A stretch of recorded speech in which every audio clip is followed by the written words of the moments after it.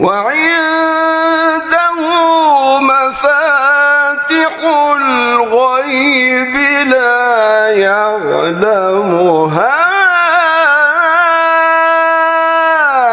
إلا هو. ويعلم ما في البر والبحر وما تسقط من ورقة إلا يعلمها